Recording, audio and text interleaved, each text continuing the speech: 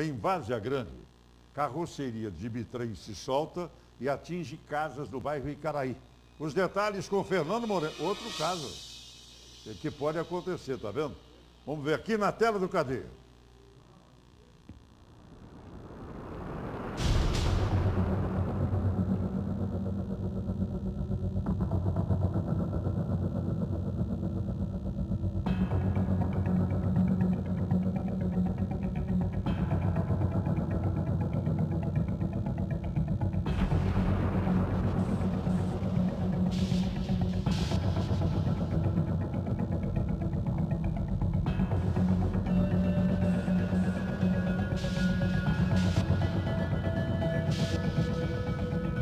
Carreta em questão é esta que está estacionada aí.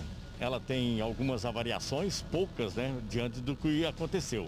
Veja só, ela estava estacionada, segundo informações, mais acima um pouquinho, e isso fez com que ela pegasse bem mais velocidade. Desceu um desses bitrens, né, são dois compartimentos, o reboque leva esses dois bitrens, um, esse último, é, se desprendeu e veio descendo, veio descendo e atingiu aqui, ó, este muro são sete padrões de energia elétrica. Sete, a fiação está aí toda jogada. Aqui mais embaixo é uma kitnet, não é? Os muros aqui foram completamente destruídos. Portão, vocês vão ver a situação em que ficou o portão juntamente com esse padrão de energia. No total são sete padrões em que foram arrastados pela força desta, deste bitrem desgovernado. E quando ele chega ali embaixo, nessa kitnet, onde vocês vão ver ali na frente, depois de passar por cima dessa fossa, quando eles chegam aí na frente, quatro criancinhas brincavam aqui. Isto é o que chamou mais atenção dos moradores, se deixou as pessoas um pouco assustadas. Felizmente, não tem ninguém ferido nessa questão.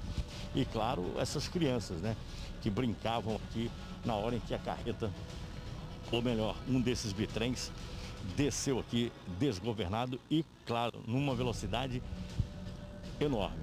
Olha só, um muro, dois muros, três muros, portões, tudo foi arrastado com uma força. Imaginem aí descendo esta rua aqui no bairro Icaraí. Foi um susto tremendo. Foi um susto tremendo. É, eu estava aqui em casa, aqui, foi um susto tremendo. Uhum. O senhor tinha crianças aqui e tudo mais, né? É, tinha criancinha aqui, eu chamei a criancinha correndo, veio para cá, Isabela, foi para lá e veio para cá, foi para lá. Uhum. Ninguém ferido, né? Ninguém ferido. Bom, este rapaz aí é o motorista da carreta, ele prefere não gravar entrevista, ele disse apenas o seguinte, que estacionou ela aqui do lado, porque ele ia descarregar aqui. E fez todos os procedimentos, né? De travar a carreta e. Com fatalidade, aconteceu. E segundo ele, o seguro vai pagar todos os prejuízos. As imagens do Roberto Garcia, com apoio do Olavo Qualano, Fernando Moreno, para o Cadeia Neles.